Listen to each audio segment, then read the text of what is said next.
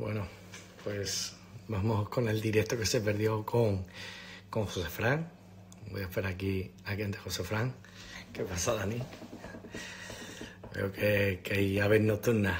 Venga, vamos con José Fran. Conectamos aquí.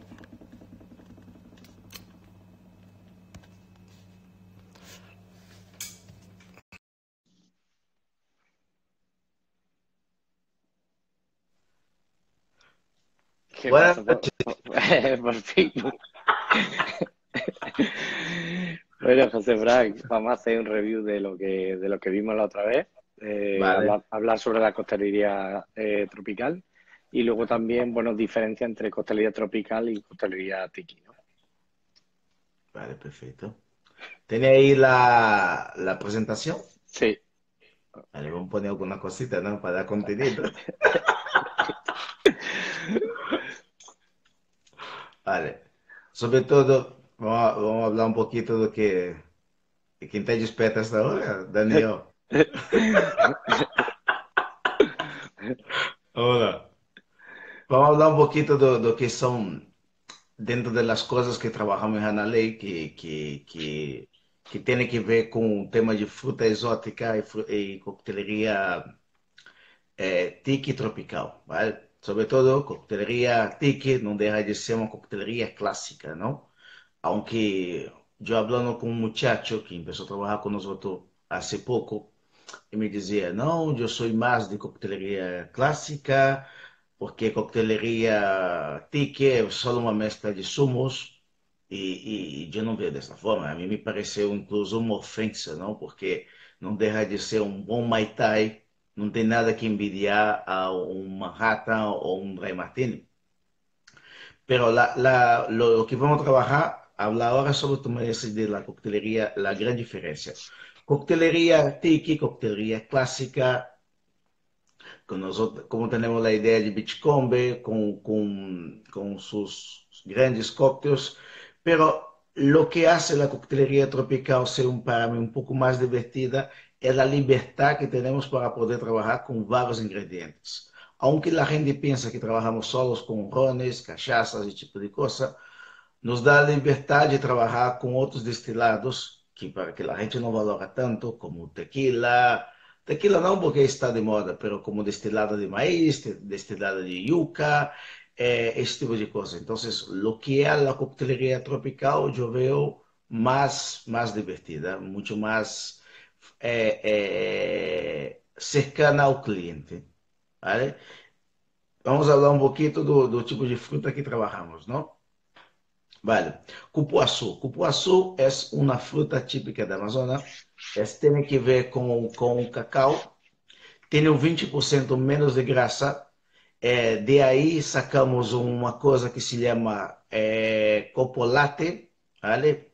Do chocolate, pero o sabor é muitíssimo mais intenso. Então, a gente quando prova o cupuaçu pensa, hostia, me recuerda chocolate, pero tem um sabor muito mais potente.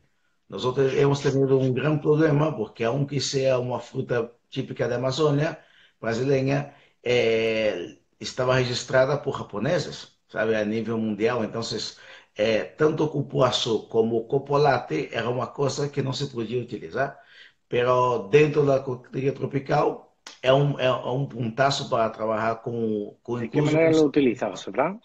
¿Ah? ¿De qué manera lo utiliza? Pode utilizar para ser incluso uma mescla sour, muito sencillo. A ideia de cupuaçu, algum cítrico e um destilado que tenha essa potência alcoólica. Um, um, quizá uma cachaça que tenha mais de 40 grados, vem de maravilha. Vale, pero sobre todo lo que tenemos, básicamente para que la gente entenda los sabores, lo tenemos en una versión de un, de un mojito. Entonces, basicamente o que utiliza, empezamos pouco a pouco, logo, o, quizá eh, apresentamos o seguinte, por exemplo, imagínate que te apresento uma versão do Mai Tai com cupuaçu, então, essa liberdade que eu hago um objeto de cupuaçu, me dá, me dá notas totalmente diferentes de que la almendra, e a gente não entende, diz, nossa, me recorda chocolate, mas não é chocolate, então, desta forma trabalhamos, mas hemos começado como um mojito e logo hemos passado com outras coisas mais complexas como um Mai Tai. Vale, pasamos si quieres otro ingrediente. Tenemos aquí la... Ah, esto es una cosa que aquí no, eso la gente llama mucho la atención. Eh, eh, Brasil es uno de los mayores productores de, de anacado a nivel mundial. Incluso hay una ciudad que se llama Pará, que vive disto, ¿no? Y, y caju es una fruta extremadamente ácida, pero lechosa. Entonces le aporta un sabor totalmente loco. La gente hostia, está, está bueno. Pero... ¿Dónde compra esto, José Pan?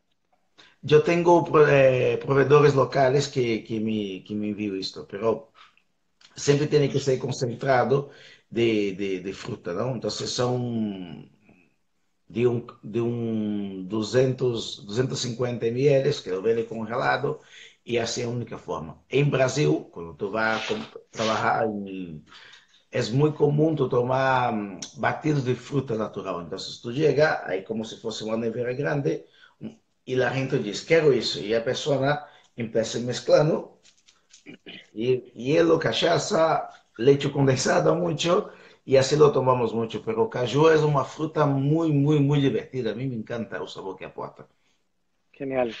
Venga, pasamos si quieres. Bueno, este es más habitual, ¿no? El lulo. Que es como lulo. un tomate, ¿no? es, una especie la, de tomate.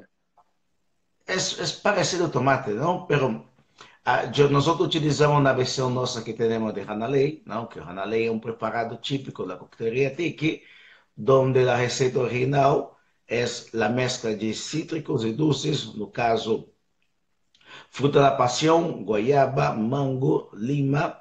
É...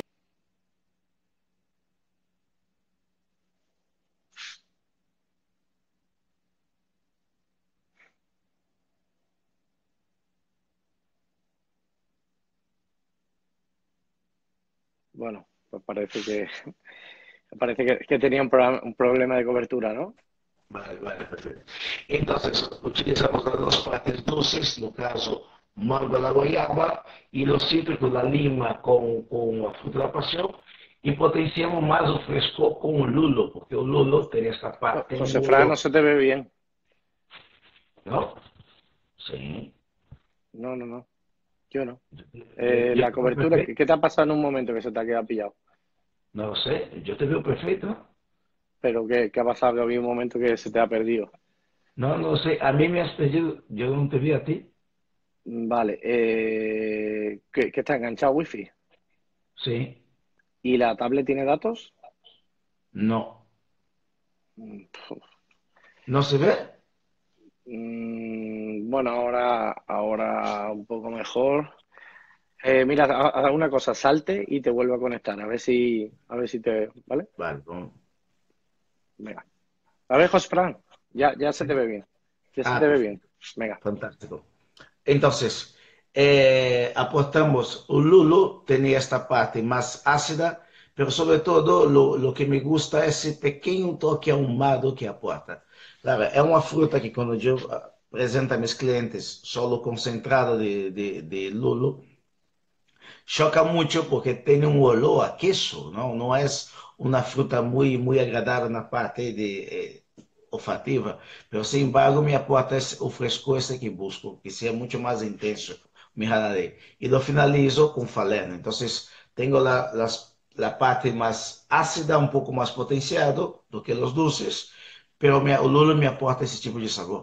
Y me encanta, no es una fruta típica de mi país, pero como yo trabajo sobre todo con productos de Sudamérica, a mí me encanta trabajar con él. Vale, y, pero eh, muchos zumos lo tienen, ¿no? Muchos zumos no tienen, pero yo compro también concentrado. ¿vale? Aquí, ojalá fuese como, como Barcelona, como tú vas allí a comprar, que es una maravilla de frutas, pero nosotros aquí, sobre todo en Granada, es mucho más difícil de conseguir ese tipo de cosas. Sí, Entonces yo eh, trabajar con purés de concentrado porque eh, eh, eh, nos facilita muchísimo el trabajo. Claro. Ok, te paso con otra. Aquí tenemos la Vale. CAI. Açaí. Vale. A- Açaí, açaí. Açaí é um, isto é uma fruta que utilizamos muito. Não sei se vosotros aí em, em Málaga já probado um açaí bowl, que é um concentrado, pero é uma fruta super, super ácida, não? Es É, afrodisíaca, um ¿no? sabor terroso. Então, lo que haces? é, para que tenha o sabor perfeito, tem que estar mesclada com sirope de guaraná.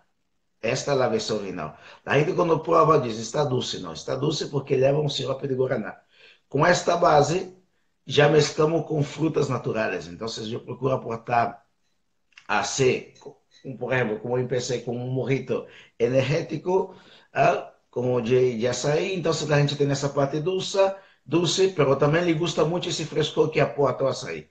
Então, é uma fruta que te aporta energia e te aporta muita, muita alegria, porque está tá buenísimo. Ok, si quieres la, la chirimoya. Eh, bueno, parecía, ¿no? Graviola. Eh, eh, exactamente. Su primo, ¿no? ¿Ah? Que el primo Esa de aquí se llama guadambama. Guadambama es como una chirimoya gigante, ¿vale? Es, es una maravilla el sabor. Y también, esta, esta no es una que, pero es que graviola no, no me suena. El- que, era mu- que puede ser muy grande, que el, es es muy grande, exactamente. Aquí se llama guadambamba. Es que a mí me la pidió, me la pidió Marian Beque para una Sí. formación y me pe- pedí la fruta y me costaba 200 euros. Claro, ¿Ah, porque sí? aquí no hay. Pero hay concentrada. Entonces te sale mucho más económico. Pero claro, no te da el mismo efecto. Y esto, dice, dice mi amigo Diego que se llama guanábana. Pero no- es exactamente. la mi- ¿Sí es la misma? Exatamente. Em Espanha também se chama igual. Pero claro, eu queria poner em português porque chama um da pouco mais o le da nome. un toque. Me dá um toque. Parece um nome catalão, não? Graviola. É uma grande fruta. E, e utilizamos também muito para o tema de coquetelaria, sobretudo para batidos naturais. Vale, tenemos aquí. vale.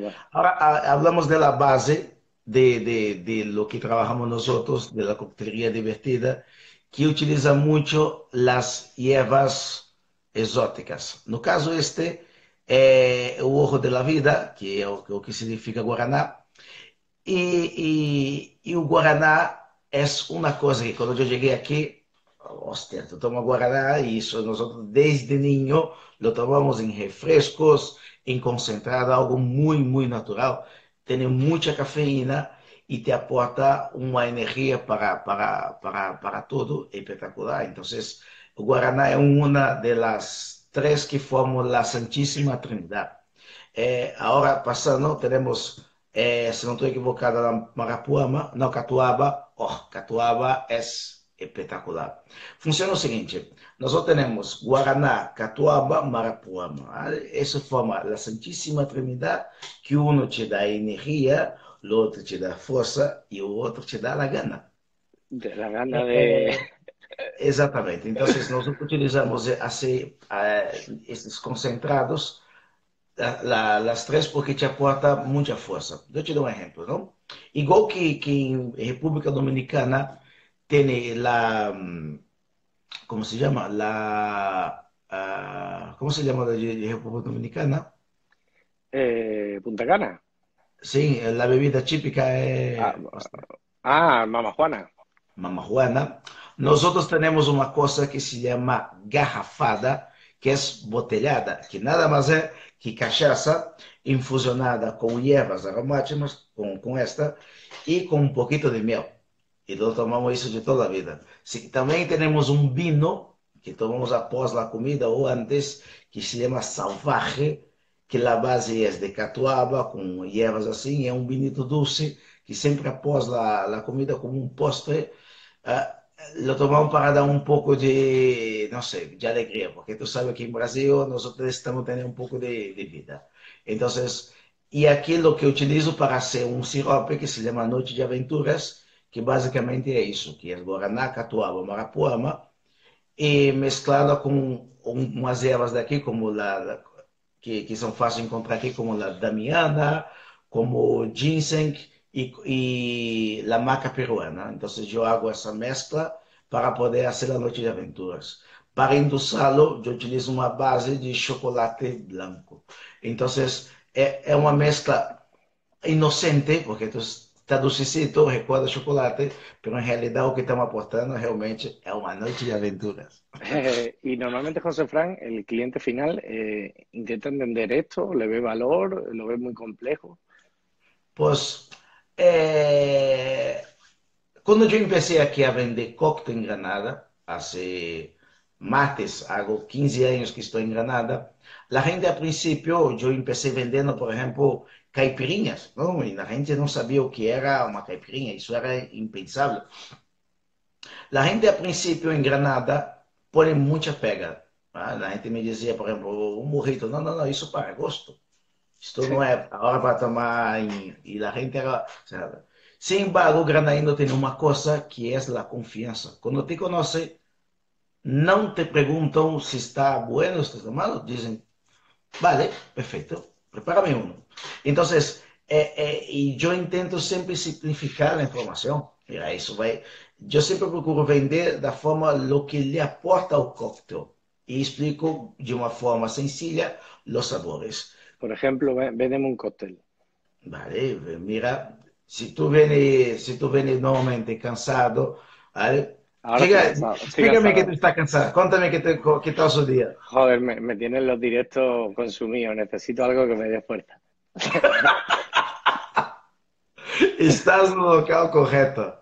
Bem-vindo a amigo meu. Tem um cóctel para ti que leva uma mescla que se chama Noite de Aventuras, que é espetacular. Está docecito, está fresco, leva ervas exóticas e secretas da Amazônia. E o que hacemos é mesclá-lo com um toque de fruta da paixão que vai reviver a ti como um campeão. Ay, qué bueno.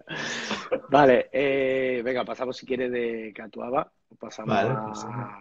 a Marapuama, que também tem que ver. Sobre todo da Marapuama, é, eu he encontrado todas essas ervas, me envia minha família do Brasil, não? Pero eu desde niño era muito muito muito freaky, não, com essa com as plantas.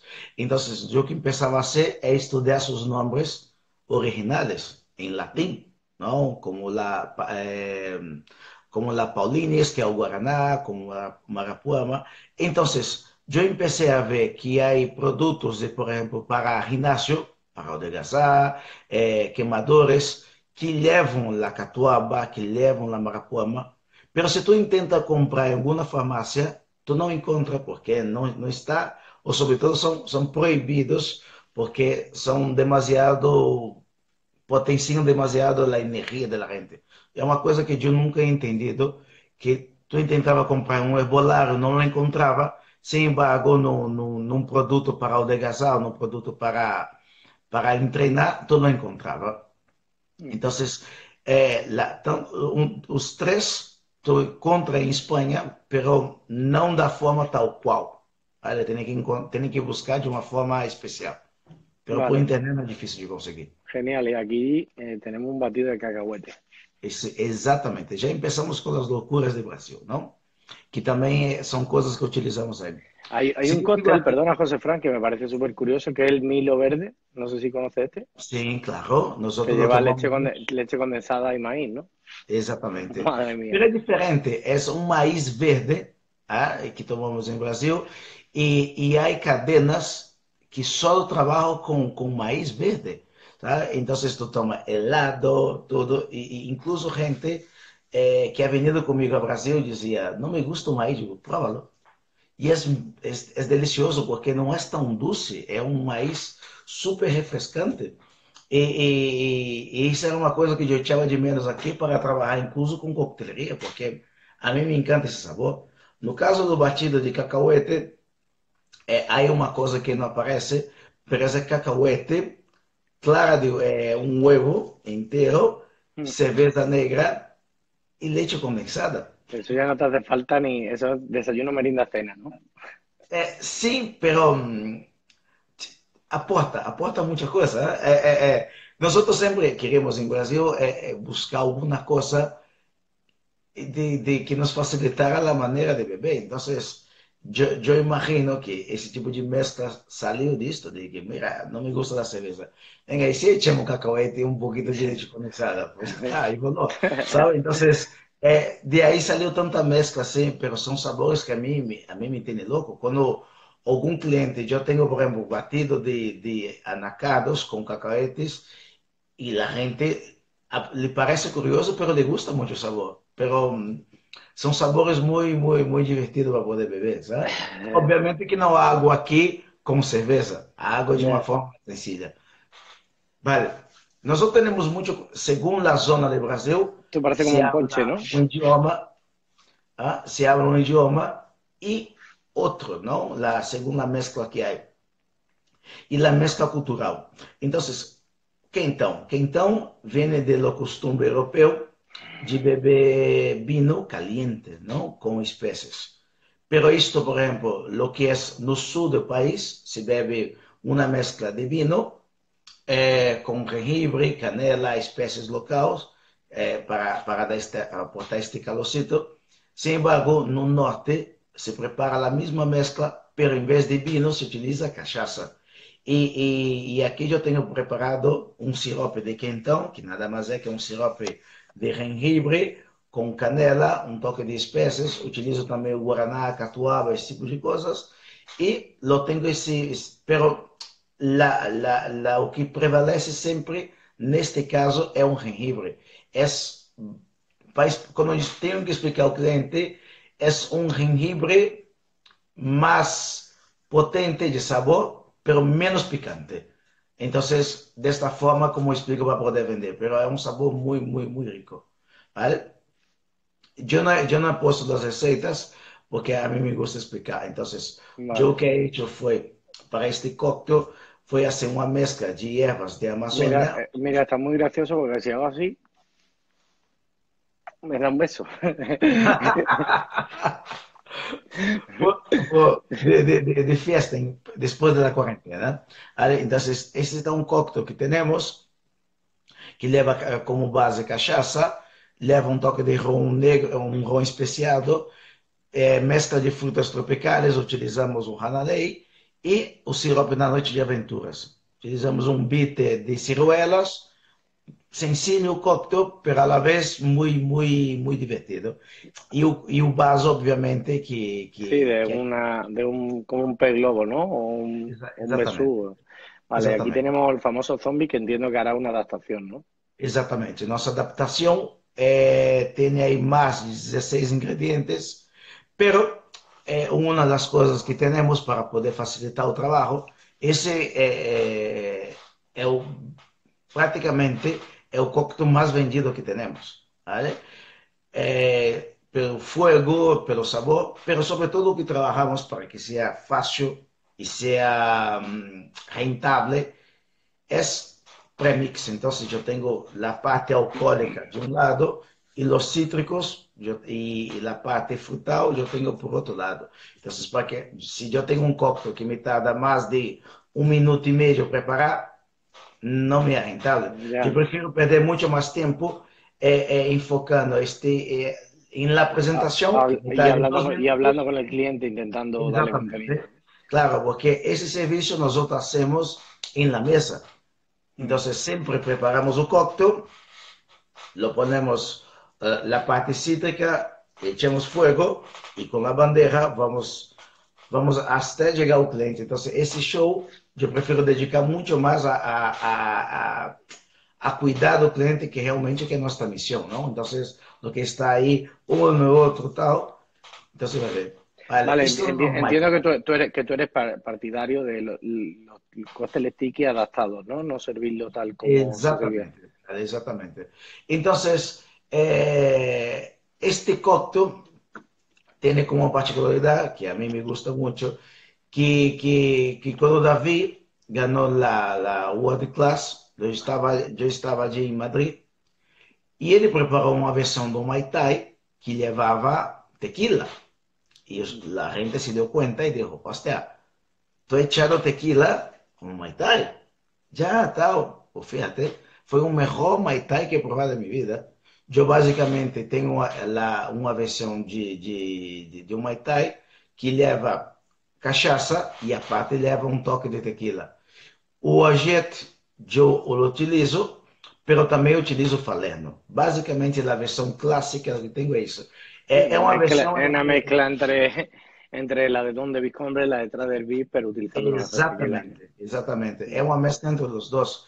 É porque não, não, aunque eu sou mais um defensor de Beachcombe, Betcombe não deixa de ser um, um, um enamorado da vida e, e, e, e, seus sabores são espetaculares. Pero Tredivik, aunque seja o malo da história, foi o que realmente potenciou o que é o TIC a nível mundial. Sim, Entonces, que lo convirtió más en un negocio, ¿no? Exatamente, porque nós que, que, que temos negócios sabemos que se realmente não há uma aportação financeira, tudo isto não nos serve de nada. ¿eh? Vale. Lo Monkey Spice nada mais é que uma mescla de bourbon, é um licor de banana de Brasil, banana verde, é um beat de fantasia, do que hacemos é potenciar. Utilizamos. É, eres, da... eres, eres um vende-humo, macho.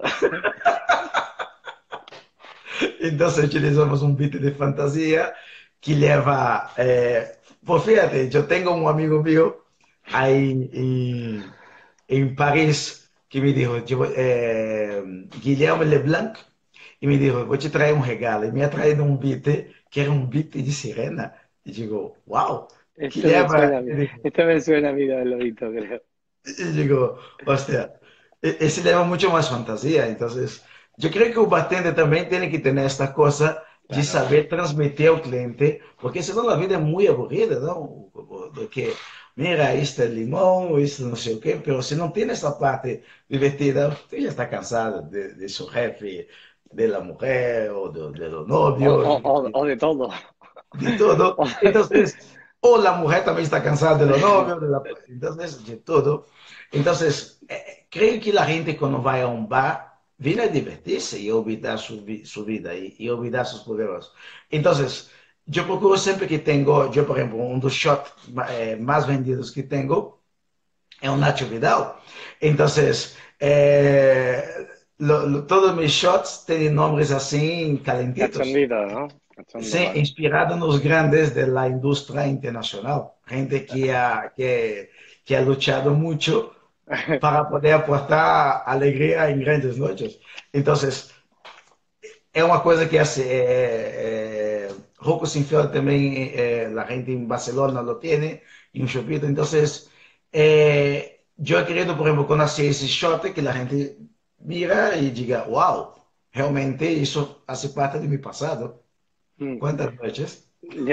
Bueno, eh, si quiere para cerrar, eh, un par de preguntas o tres, José Fran. Perfecto. Eh, ¿qué, consejo le daría a la gente que quiere darle un toque diferente a la, a coctelería tropical? Vale. Sobre todo, yo creo que todo tiene que tener una base, Hugo. Aunque yo soy un, poco loco en el tema de la, de la coctelería, yo empecé con coctelería clásica, ¿no? Entonces, hacía mis manhattan, mi daiquiri, eh, eh, mi dry martini, y es la base. Tú tienes que estudiar, estudiar, estudiar, estudiar, porque tú no puedes empezar haciendo locura. Eh, es como un cocinero que quiere hacer muchas cosas y no sabe hacer una buena tortilla francesa. Entonces, yo creo que la base es estudiar coctelería clásica entender com que está trabalhando, entender os sabores, entender os destilados. Logo, elegir alguma gama que realmente lhe aporta mais, ou tropical, ou tique, o que seja. Pero, sobretudo, eu creio que o que recomendo a la juventude, antes de tudo, é estudar e ter uma base. Porque, sobretudo, não é nada mais vergonzoso do que vem um cliente e, e, e tu não tem muita ideia do que está fazendo. Então, Yo no, no, tengo problema ninguno que si me viene un cliente y quiero probar tal cosa, yo digo, no lo sé hacer. Pero claro. dame 30 segundos. Claro. Busco la información. Digo, o pregunta a alguien o lo que sea. Exactamente. Digo, dame 30 segundos eh, y lo preparo. Porque sobre todo, según el país donde venga, hay una manera de preparar los cócteles. Claro. No, no tiene nada que ver la forma de preparar los cócteles en Estados Unidos do que en Londres. Entonces, eu intento sempre é, penso que o, o conselho um dos conselhos mais importantes que é conectar com o cliente entendê-lo desde o primeiro momento lo, lo, lo, lo, que diz essa da cultura oriental não o shigoshi é um invitado uma oportunidade. Se tu conecta com o cliente desde o primeiro momento e tenta entendê-lo é fácil de fazer as coisas bem. Pero sobre todo creo que lo consejo que tenemos que vender a la, la, la juventud es estudiar, es estudiar. No empezar haciendo lo como hago yo, de mezclar 50 ingredientes a lo loco.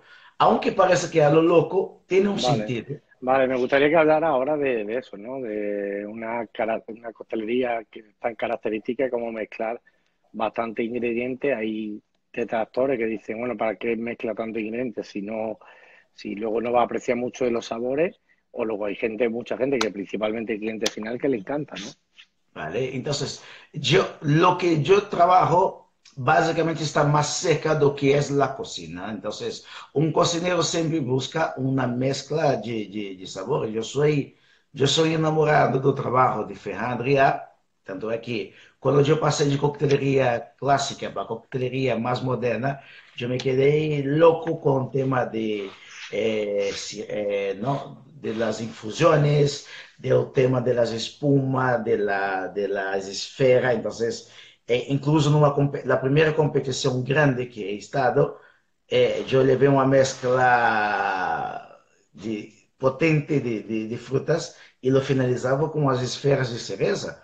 Então, isso para mim era uau. Pero também me ajudou muito a ser o que trabalho hoje. La, la, la- minha ideia, eu sempre provo os ingredientes por separado. Guardo este sabor em minha cabeça e tento fazer que seja um sabor evolutivo. Minha ideia é que, que o coquetel, quando tu trabalha com capas de sabores, a ideia é que tu prove um coquetel em um momento, tenha uma nota e que esse sabor vai evolucionando. Não vejo de uma maneira, aunque eu sou um bebedor de coqueteleria clássica, eu sempre bebo Negrones, esse tipo de coisa, mas eu creio que o cliente tem que, que, que, que ter o melhor de lo melhor. Então, a ideia de mesclar os sabores, esta evolução hace que, que há algo totalmente diferente na mente do cliente.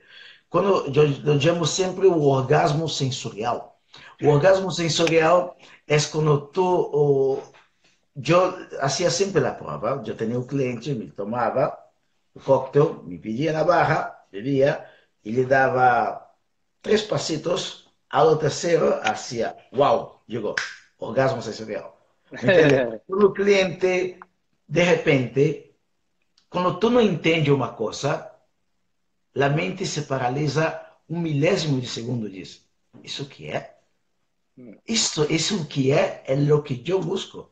Sabe quando a gente diz, está doce, é humado, é fresco, é, olha, fruta, pero não entendo. E a gente às vezes me mira e diz, isso que é? Digo, tá bueno? Digo, sim, pero não entendo. É isso o que está. busco quando eu mesclo esse tipo de frutas. A ideia de mesclar, por exemplo, o típico, a fruta da paixão com a vanilha, com a canela, com o amargo, não é só para que, que a vanilha vai muito bem com a fruta da paixão, não. Eu busco que, que realmente a fruta da paixão essa tenha esta parte de la, de la vanilha, pero logo nota, notas a limão rallado, eh, essa parte de gengibre. Aunque a gente não entenda e não sepa que fruta é utilizado, sabe que aí algo totalmente diferente, é algo rico. Então, quando eu hago essa mescla de sabores, sempre é tentando potenciar o coquetel e fazer que o coquetel seja muito mais evolutivo. José Fran, eh, mil gracias, tío, por tu predisposición. Eh, veo que has mejorado bastante en la, en la informática en estos, en estos días. Teléfono, tío. É que sabe o que passa? Na última vez eu tinha dois mil e pico vídeos e he borrado todo. Eu tentei guardar, então o que passava é que não, já não entrava mais nada. Então o telefone disse, mira, tu negro a passear, sabe? Então não me entrava mais nada. E tenido que borrar diretamente. Genial, pues ha sido un placer, José Fran. Tengo muchas ganas de verte y espero estar pronto por Canalei y tomarme uno de tus maravillosos cócteles. Exatamente. E me gostaria de invitar todos a visitar-nos em Granada. Estamos aqui no centro de Granada. Hanalei é um sítio muito divertido, um sítio onde que tu não tens, se tu queres vir em Chanda, está em sua casa. Nosso nosso conceito sempre é que cada cliente é único e especial. E nós outros, desde o primeiro momento que entra por la porta, o conceito de hospitalidade é nossa marca. Nós outros queremos, nós outros em um mês e pico já temos já era o número 4 em TripAdvisor, sabe? Sempre con comentarios muy positivos. En Google la gente nos recomienda mucho. Y yo recomiendo la experiencia de Hanalei porque Hanalei es esto. Hanalei es una experiencia, es un sitio para venir entre amigos, conectar. Una última cosa. Una pareja me decía, la música está muy bajita. Yo no escucho. Yo digo, este es un sitio para recuperar la pasión perdida, para recuperar la conversación esta que la pareja ya no tiene, para mirarse en los ojos, beber un buen cóctel y disfrutar de la experiencia de Estados Unidos. La experiencia, la experiencia en el momento y la que pudiera venir después, ¿no? Exactamente. Esta es una noche de aventuras y voló. José Fran, mil gracias, amigo. Gracias, hermano. Cuídate Un abrazo, mucho. chicos, a todos. Chao, gracias. Hasta luego. Chao, chao.